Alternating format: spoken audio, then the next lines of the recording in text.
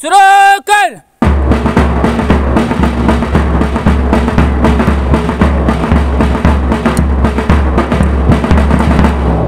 दूसरा अभ्यास सोलह की गिनती में एक साथ शुरू करेंगे। शुरू कर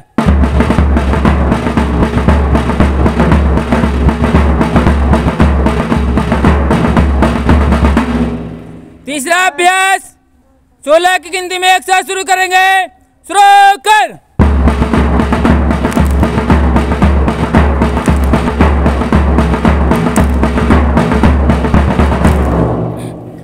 चौथा अभ्यास सोलह गिनती में एक साथ शुरू करेंगे। शुरू कर।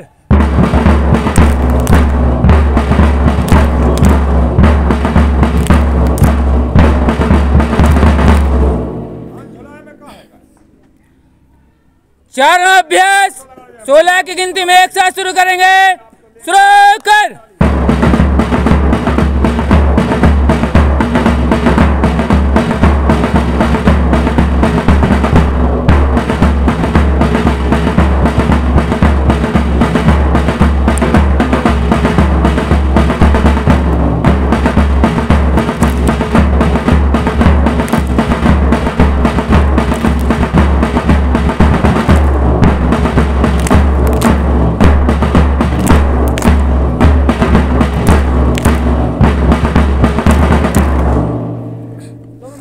もあれう。んすごい。